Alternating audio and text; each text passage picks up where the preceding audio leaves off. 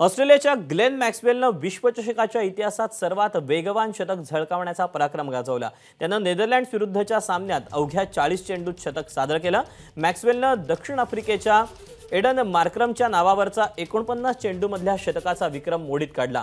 मार्क्रमनं याच विश्वचषकात श्रीलंकेविरुद्धच्या सामन्यात एकोणपन्नास चेंडूत शतक सादर करण्याची कामगिरी बजावली होती. दरम्यान मॅक्सवेलनं नेदरलँड्स विरुद्धच्या सामन्यात चव्वेचाळीस चेंडूत एकशे सहा डेव्हिड वॉर्नरनं त्र्याण्णव चेंडूत एकशे चार धावांची खेळी उभारली.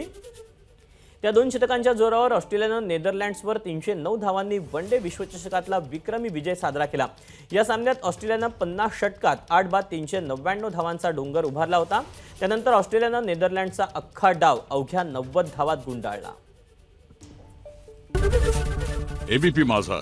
उघडा डोळे बघा नीट.